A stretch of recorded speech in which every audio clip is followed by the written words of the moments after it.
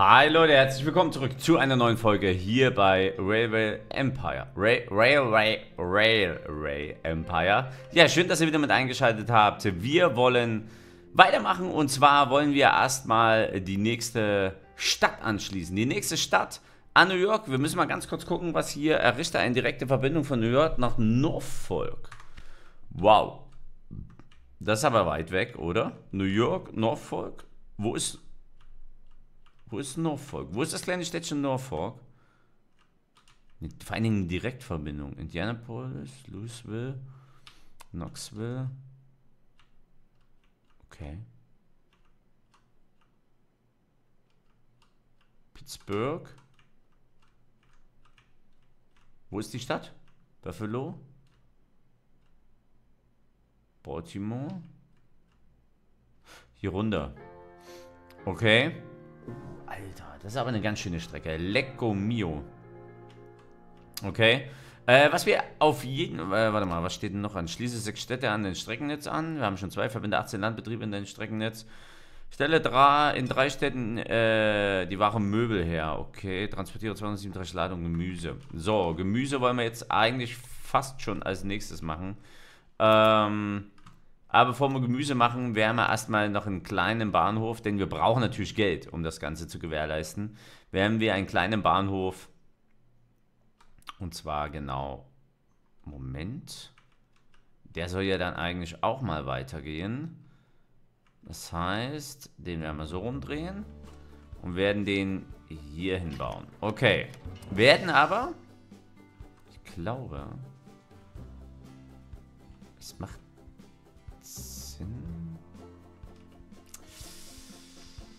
Eieieiei. Äh, Moment mal.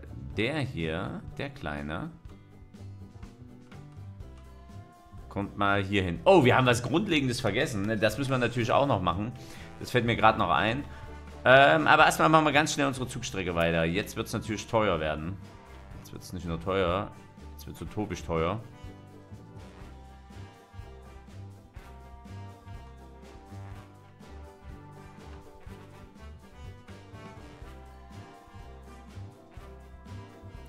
Ja, Tunnel sind mir leider nicht bezahlbar, ne? Ach du Scheiße. Moment. Wir müssen irgendwie hier über den Berg kommen. Über den Berg, durch den Berg, was auch immer. Okay, hier ist auf jeden Fall um einiges flacher.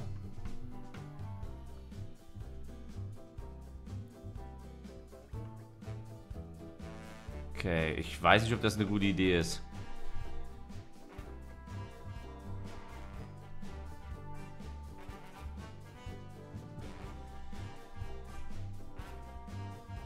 Doch, das ist eine gute Idee. Wir gehen hier lang. Wir gehen hier schön am Wasser lang. So. Reduzieren das Ganze mal auf 6% Steigung.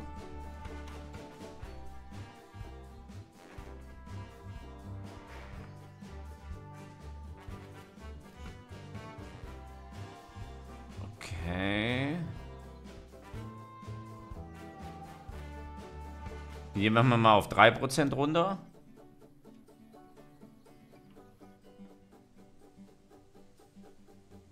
Dreiundneunzigtausend. Ah. So, 69. 69.000. Oh, die Steigung wird immer größer. 68.000.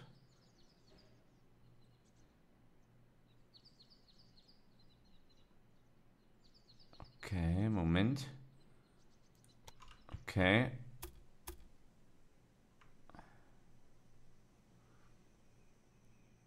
Einundneunzigtausend. Moment, wir müssen mal gucken, wie wir hier am besten fahren. Hier können wir auch noch mal was sparen. Hätten aber nur 3%. Okay, das können wir so bauen. Das können wir so machen.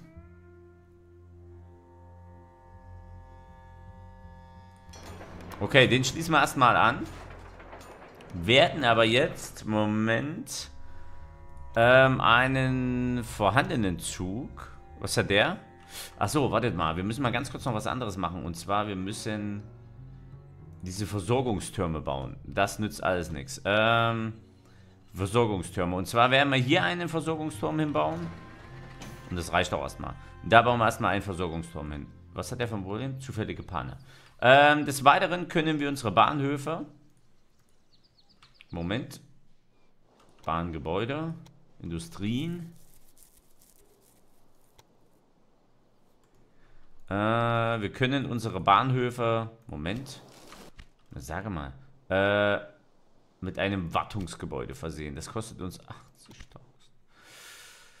Okay, dann lassen wir das erstmal ganz kurz. Ähm, was wir aber machen, ist eine neue Expresszug. Expresszug. Was bedeutet dieser Blitz hier?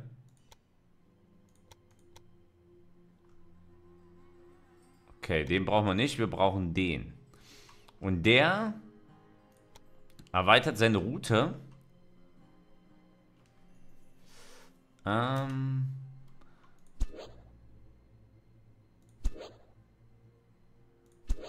Von New York. Dahin. Dahin. Dahin. Dahin. Dahin. Ja.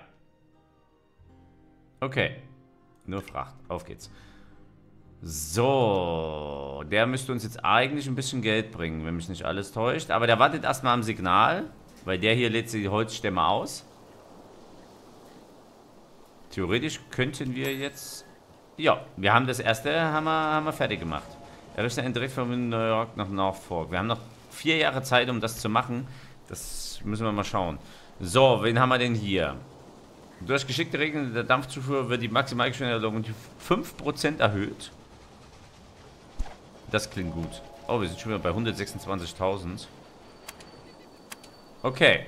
Freie Mitarbeiter, Büropersonal, Zugpersonal. Zugpersonal? Heizer. Okay, ähm, das heißt, wir werden den Zug, diesen Zug, Zug verwalten, mit einem Heizer ausstatten. So. Das ist nämlich der Zug, der für uns äh, die ganzen Güter transportiert. Der hat eine positive äh, Bilanz. Das ist schon mal sehr gut. Ähm, was müssen wir noch machen? Müssen wir hier Signale bauen? Nein, wir müssen hier erstmal keine Signale bauen. Solange wir, wir diesen Errichten Standortzentren und so viele Reisende wie möglich anzulocken, errichten müssen an Industrie. Ja. Äh, wir werden. Moment, für alle Bahnhöfe gilt, je größer der Bahnhof, desto kürzer sind die beladen, äh, desto mehr Gleise stehen zur Verfügung. Ja. Äh, wir werden jetzt nach diesen Cutten, also nach, dem Baum, nach der Baumwolle, wenn wir jetzt hier noch ein Gleis hinlegen. Das Problem ist, wir müssen dann erstmal hier noch ein zweites Gleis bauen. Und ja, so sieht's aus. Ähm, vielleicht könnten wir den Bahnhof schon mal ausbauen. Wir werden hier erstmal ein Wartungsgebäude für 80.000 errichten. Und 60.000 kostet der Ausbau auf zweigleisig. Brauchen wir zweigleisig? Ja. Okay, das machen wir einmal. Äh, wir bauen erstmal das Ganze auf zweigleisig aus. So, jetzt können wir schienentechnisch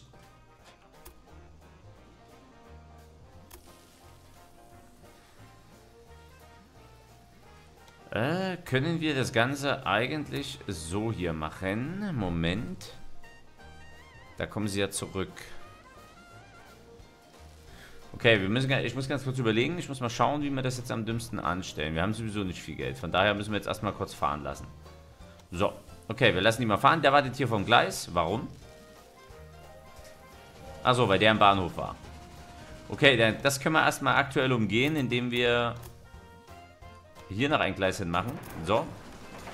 Und dann können die sich äh, das raussuchen. Also wenn jetzt hier einer steht, der steht zum Beispiel auf dem zweiten Gleis, dann kann der andere hier noch reinfahren, beziehungsweise wenn jetzt hier noch einer kommt, würde der geradeaus reinfahren. Das Schöne ist eben, der Bahnhof hat die eigenen Signale. Ihr seht, sie sind jetzt gerade grün, das heißt, der könnte fahren. Ähm, und es gibt wieder ein bisschen Geld. So, mehr Geld gab es nicht. Wird gewartet. Interessant. Okay, dadurch, dass wir jetzt hier eine Wartungshalle gebaut haben, wird der Zug natürlich auch gleich gewartet. Was natürlich sehr gut ist.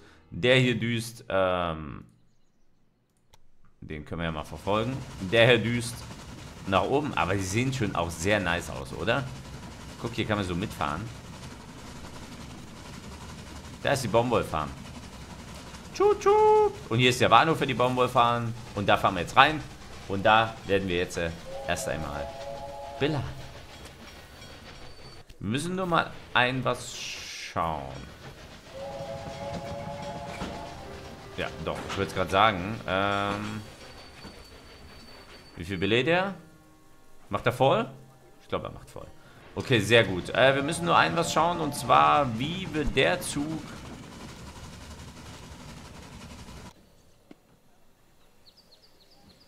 Zufällige Panne.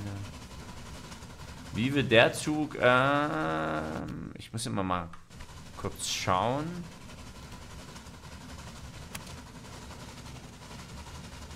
Wir könnten uns noch Anleihen holen. Das heißt, wir könnten uns... Nee, das machen wir aber nicht. Quartalsberichte. Sieht eigentlich ganz gut aus. Wir wachsen definitiv. Ähm, Konkurrenz haben wir keine. Wir haben aber dafür wieder ein bisschen Forschung, was wir machen können. Und zwar könnten wir, bringt Sicherheit vor Personenschäden, steigende Beliebtheit bei den Reisegästen. Erhöht die Anzahl der Passagiere in jeder Stadt und ein Unternehmen Bahnhof hat um 5%. Okay. Und genau das werden wir tun. Und dann könnten wir als nächstes... Könnten wir als nächstes diese Lok freischalten. Der fährt schon mal 35 km/h, der hat nur 25. Der fährt schon mal 35 km/h, das ist ziemlich gut. Und dann können wir die Züge tauschen. Aber jetzt brauchen wir erstmal ein bisschen Geld. So, und jetzt müssen wir erstmal schauen. Wo ist unser Zug? Genau. Der fährt jetzt hier zurück. Ich muss mal schauen, ob der in Albany Stadt, Größe 3, 40.000 Einwohner. Theoretisch dürfte er nichts abladen. Weil die es nicht haben. Die mit ihren Zufällen, die mit ihren Pannen, das ist aber auch eine Katastrophe, ey. Okay, wo ist der andere Zug? Ah, guck mal, seht ihr? Die haben jetzt beide Gleise genutzt. Sehr gut. Und der fällt jetzt raus, sobald das Signal frei ist. Naja, ansonsten würde der da oben warten, bis der hier unten über dem Signal hier unten ist, wenn wir diese ganzen Zwischensignale nicht hätten. Aber da der dann drüber fährt, wartet, stopp, ganz kurz. Ähm, der ist noch nicht zweispurig, okay, schade. Das heißt, leider müssen wir, muss der jetzt warten. Der wird jetzt hier unten am Signal warten, bis er wieder rausgefahren ist. Beschneidet sich. Je besser eine Stadt durch Eisenbahn mit Waren versorgt ist, desto schneller wächst die Stadt im Stadt. Äh, Dialog über die Bedarfsdeckung liegt sie, ja, liegt sie bei 60%, kann die Stadt wachsen. Okay, es gibt wieder Geld. Oh ja. Jetzt gibt es auf jeden Fall richtig Geld. Das waren nur die Passagiere. Wieso fährt ihr die Baumwolle jetzt wieder da hoch? Was? Was macht der denn? Wo fährt denn jetzt mit der Baumwolle hin?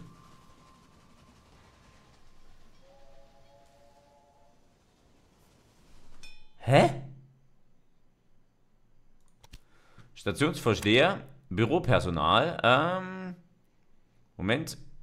Erstellt Regeln für die Wartungs, für den Wachstum der Wartungsdauer aller Züge um 5%. Natürlich werden wir den einstellen. Aber, was macht denn der für ein Quatsch?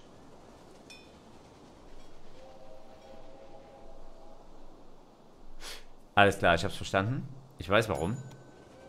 Okay, es gab wieder gut Geld. Ich weiß warum. Ähm, ganz einfach. Und zwar haben wir was vergessen. Wir können ja hier schon mal weiterbauen. Wir gucken mal, wie weit wir kommen mit unserem Geld. 36.000. Kommen wir leider nicht so weit.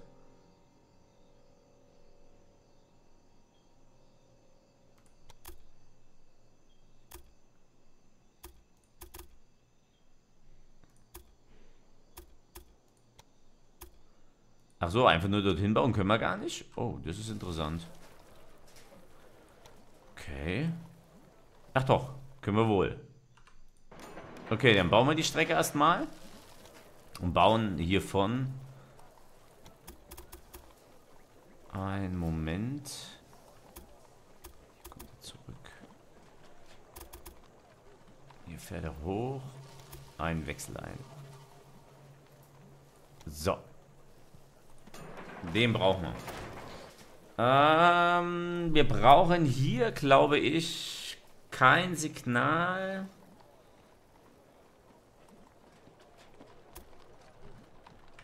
Wir brauchen hier kein Signal, denn wir werden hier oben ein Signal setzen, was den Zug äh, dazu zwingen wird, selbst wenn er auf diesem Gleis entlädt, dann hier auf dieses Gleis wieder rüber zu wechseln. Allerdings brauchen wir auf der Seite ein Signal, das können wir schon bauen. Und zwar dieses.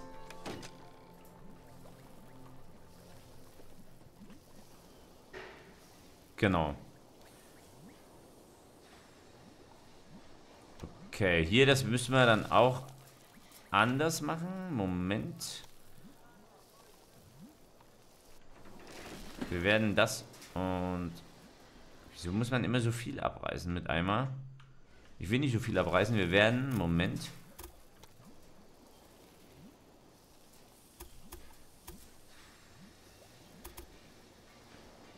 Macht das Sinn?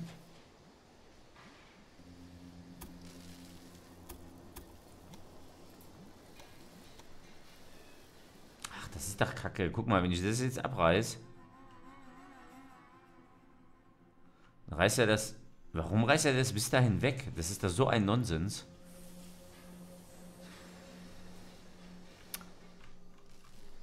Wähle ein Gleise, Gebäude, Signale, um es zu entfernen. Du kannst auch Gleisabschnitte festlegen. Ja, wie denn? Ah.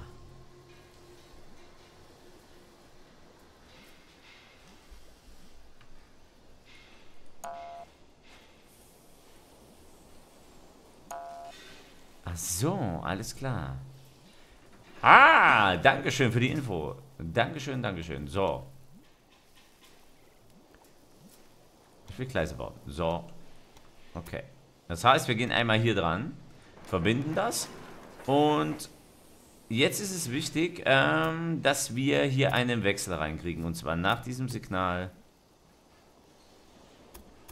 hier rüber. Moment, wir müssen... So. Und...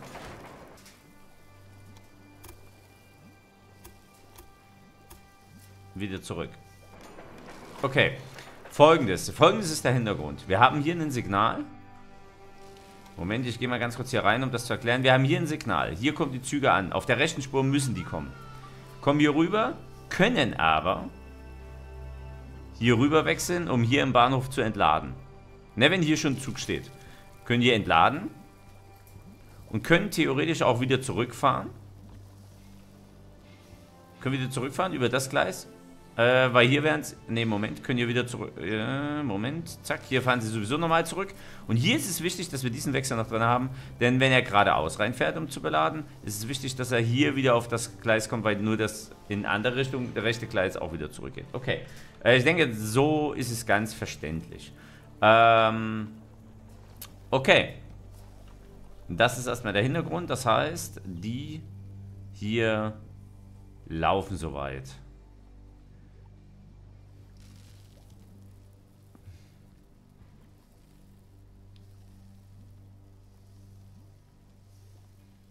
Ähm, das sollte eigentlich alles passen, ja. Wir schauen mal, wie sich die Züge verhalten. Wir gucken einfach mal, wie sie sich verhalten, von daher. Ähm, wie sieht's aus? Oh, wir haben wieder einen Forschungspunkt. Äh, das heißt, wir können die neue Lok erforschen. Die hat dann schon mal 35 Kanal. Kanal bringt Sicherheit für nachfolgende Züge und für die mehr Zuverlässigkeit. Die Zuverlässigkeit einer Lokomotive um 12%.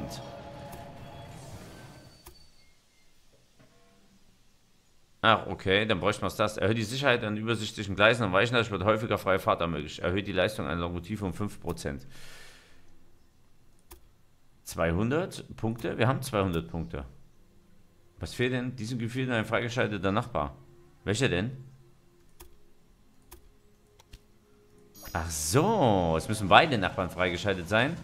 Okay, dann können wir das noch machen. Super. Ähm, was wir jetzt aber haben ist diese Lokomotive, die ist neu. John Bull. Ähm, wir können hier schauen, Lokomotiven ersetzen. Uns wird das Ganze 64.000 kosten. Dann könnten wir unsere zwei Lokomotiven gegen die austauschen. Können wir leider erstmal noch nicht und von daher müssen wir abwarten. In diesem Sinne aber erstmal vielen Dank fürs Zuschauen. Wir sehen uns natürlich in der nächsten Folge wieder. Lasst das Däumchen da, wenn es euch gefallen hat und schreibt mir in die Kommentare, falls ihr noch irgendwelche Tipps oder Tricks habt. Ich bin erstmal fertig. Bis dahin, euer Manus. Ciao.